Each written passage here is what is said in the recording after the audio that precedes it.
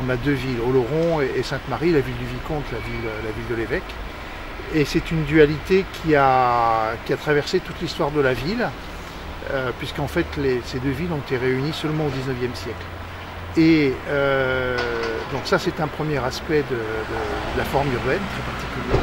Un autre est lié à la, conception des maisons, de la maison oloronnaise, qui est en fait une maison euh, souvent assez étroite, installée sur une parcelle très longue. Alors d'un côté, elle a son devant sur la rue pour former des rues, des places, et de l'autre côté, à l'arrière, donne sur un jardin qui est tout en long, tout en lanière.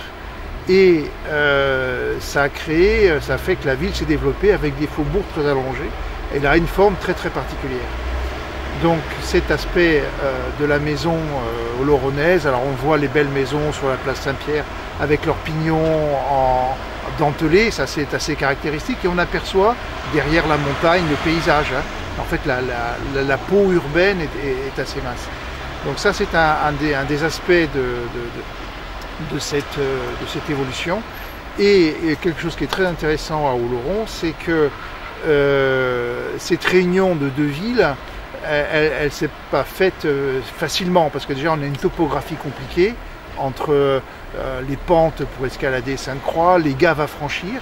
Et au 19e, enfin au 20e siècle, on a eu un, projet urbain qui a tenté de réunir l'ensemble pour arriver à, restructurer la ville. Alors ça se passe avec l'arrivée du chemin de fer, on implante la gare, la gare avec une perspective sur Sainte-Croix, c'est très joli quand on sort de la gare, on a une perspective sur Sainte-Croix, et on crée le jardin public. Alors on, démolit les constructions qui sont à, la place actuelle du, palais de justice, on crée le pont, le pont Sainte-Claire je crois qu'il s'appelle, et puis on crée, le, jardin public qui est magnifique avec ses grands arbres, mais en fait, euh, c'est un dessin urbain qui n'est pas complètement abouti parce qu'on n'est pas vraiment arrivé à, relier euh, Oloron et, Sainte-Marie.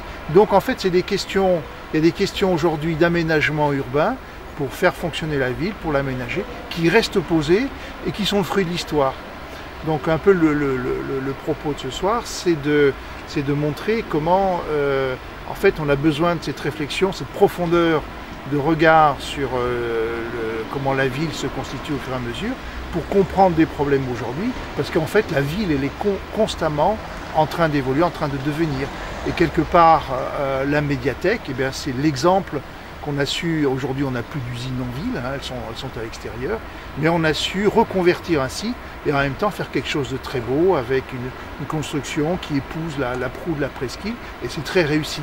Donc c'est bien l'illustration de cette capacité euh, à, renouveler, à moderniser. ça c'est la, tâche qu'on a d'aller vers l'avenir, mais en même temps d'avoir euh, euh, un regard sur l'histoire pour comprendre éclairer les tâches qu'on a à faire.